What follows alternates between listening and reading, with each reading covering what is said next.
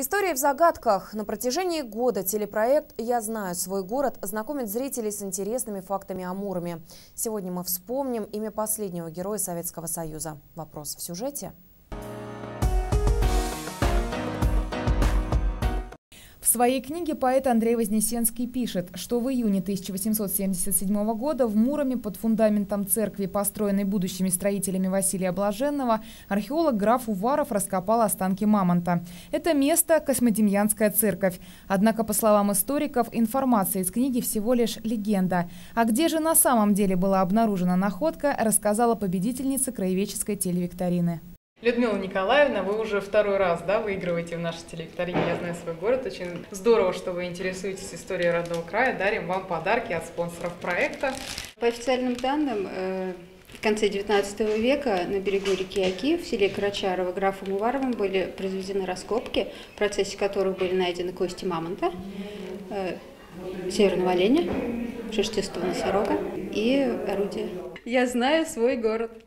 А вот еще один автор книг по истории Мурома, информация которых основана на достоверных фактах. В гостях у преподавателя истории краеведа Юрия Симонова мы вернулись во времена Великой Отечественной войны и еще раз вспомнили имена героев Советского Союза. Своими подвигами Муром прославили 23 человека. Первым этого высокого звания был удостоен Николай Гастелло. А кто последним? 27 июня 1945 году наш земляк, подполковник, замполит, прошедший войну в составе Первого Украинского фронта, получил высшее звание Героя Советского Союза.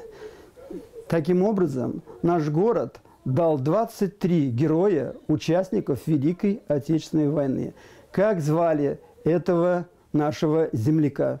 Вопрос 43-й телевикторины звучит так. Назовите имя земляка, которому было присвоено звание Героя Советского Союза последним. Ответ ждем во вторник с 14 до 15 часов по телефону студии 99855. Победитель получит приз. Регина Ломакина, Александр Симонов специально для новости Мура. Конкурс проводится при главной финансовой поддержке магазина «Страна игрушек», а также при финансовой поддержке магазинов «Белая ворона» и «Велоимперия».